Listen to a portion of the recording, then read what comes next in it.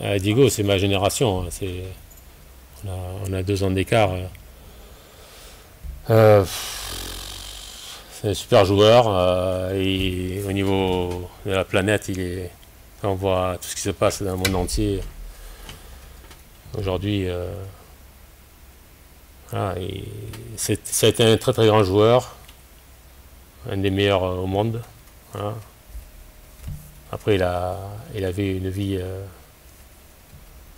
incroyable. Il a, fait, une- il a eu une vie incroyable. C'est dommage qu'il soit parti aussi jeune. Vous l'avez rencontré, Michel, dans vie?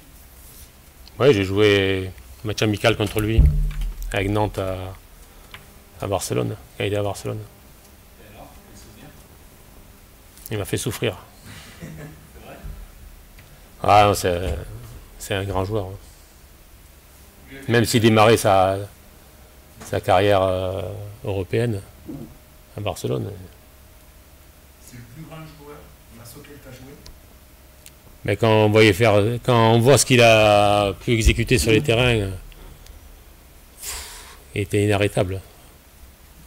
Il, était- il fallait vraiment le, le couper en deux pour l'arrêter. Quand il était lancé, il y avait des appuis énormes, il y avait une qualité de dribble, il avait une technique énorme.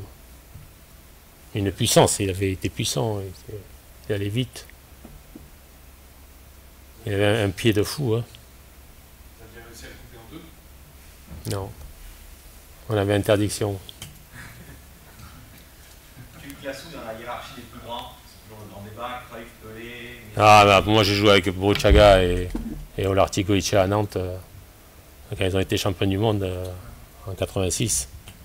Et ils m'ont dit c'est un phénomène. hein, phénomène. Tu le classes où c'est le plus grand toi ou c'est compliqué de les... Ah, mais je pense qu'il est avec les plus grands, bien sûr. hein, Entre Pelé, lui, Messi, Et par rapport à Zidane, face auquel Cruyff. c'est- Par rapport à Zidane, face auquel tu as joué également. Ah, c'est pas même jeu, c'est pas. c'est- euh, Zidane, c'est un très très grand joueur aussi, mais c'est pas. Il n'avait pas cette qualité à, éliminer comme euh, cette puissance euh, qu'a qu'a Maradona. Voilà.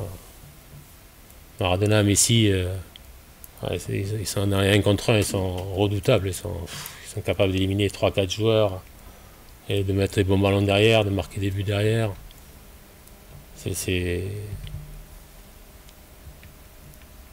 c'est phénomène.